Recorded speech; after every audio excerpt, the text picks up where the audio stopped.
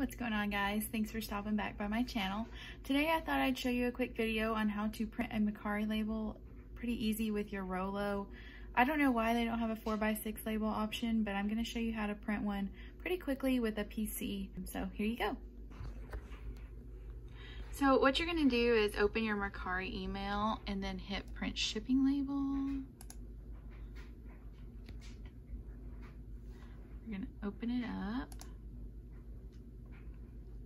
And now we're going to rotate it once. Then I'm going to come to my keyboard.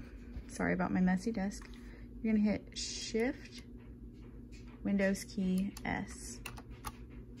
That makes the screen look like this. So you're going to take this. So this actually brings up your snipping tool. You're just going to go like this. It should bring up something right here. Then we're gonna go to the corner, print, print, and voila. I hope that's useful to you all. It took me a long time to learn how to print a Mercari label. I was um, just printing them on paper and taping them on. I was cutting them out and saving them to my computer. So this is a lot easier for me to do. Um, if you like the video, please like it. Feel free to subscribe. Thanks guys.